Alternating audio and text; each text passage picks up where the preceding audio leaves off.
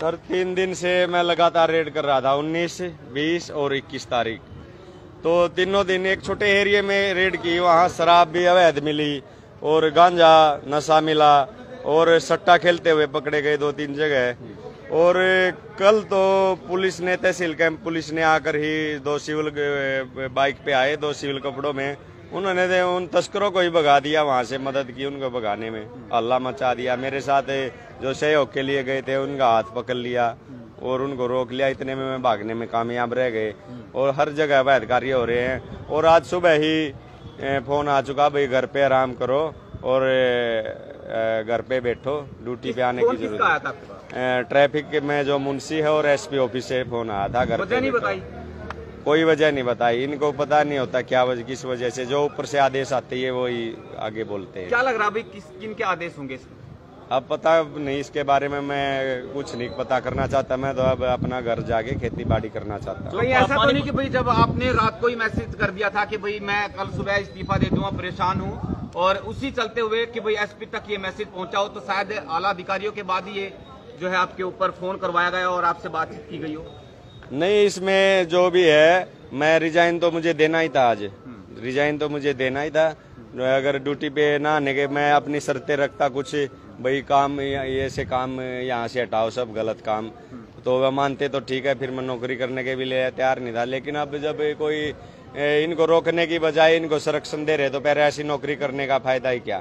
क्या पुलिस की मिली भगत से इस तरह के काम पानीपत में हो रहे हैं? बिल्कुल पुलिस की मिली भगत बगैर पत्ता भी नहीं हिल सकता। इतने ईमानदार एसपी होने के बाद भी एसपी साहब इतने ईमानदार हैं और इतने अच्छे आदमी इतने पढ़े लिखे इंटेलिजेंट है।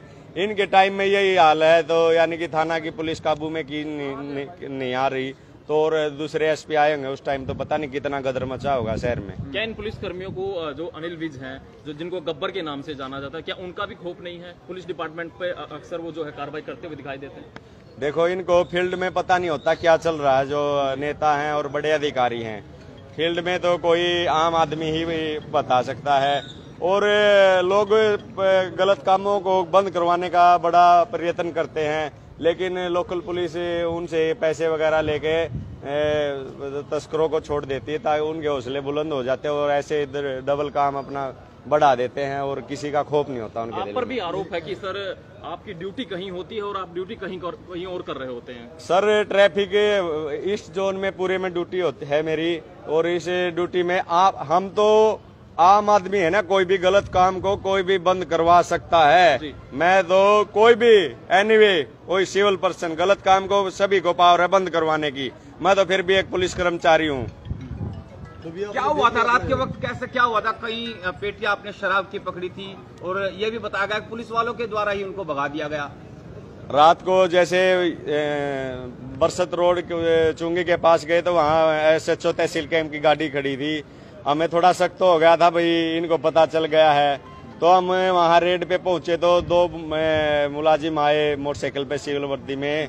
उन्होंने जो मेरे साथ बंदा था उसका ही हाथ पकड़ लिया। इतने में उसका फ़ायदा उठाकर वे तस्कर वहाँ से भागने में कामयाब रह गए।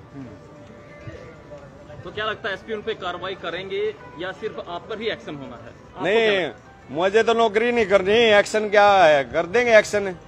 एक्शन कर लेंगे।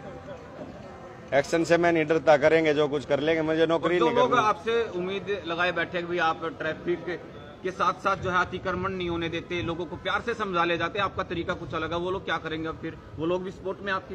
लोगों की सेवा के लिए तो मैं कार्य कर रहा था ये गलत काम कर रहे हैं जो है धंधे हो रहे हैं सबको नशे में डाला जा रहा है। सरकार भी चाहती है फिर पता नहीं यहाँ धरातल पे ये बातें क्यों नहीं सामने आती? कई मिनिस्टर साहब से मिलेंगे गृह मंत्री जी भी हैं आपके सबसे बड़े तो मुखिया वही है आपके डिपार्टमेंट के। वैसे मैं अनिल विज जी का और योगी आदित्यनाथ जी का और मोदी जी का फ़ैन हूँ बहुत बड़ा। लेकिन वो मेरा पर्सनल हो जाएगा भाई इसको क्या पड़ी हमने तो अपना जॉब से रिजाइन देकर अपने घर बैठेंगे हम तो। अगर अगर एसपी साहब ऐसे आरोपियों के खिलाफ काम करते हैं जिस जिन पुलिसकर्मियों पर आरोप लगा रहे हैं कि वो शादी वर्दी में आए उनको छुड़वा लिया उनके खिलाफ कार्रवाई करते हैं तो क्या फिर भी आप रिजाइन करेंगे? अगर इसे अवैध काम को बंद कर देते हैं तो फिर मैं सोचूँगा दोबारा लोगों की सेवा करूँ। चलिए, जानते हैं आप लोग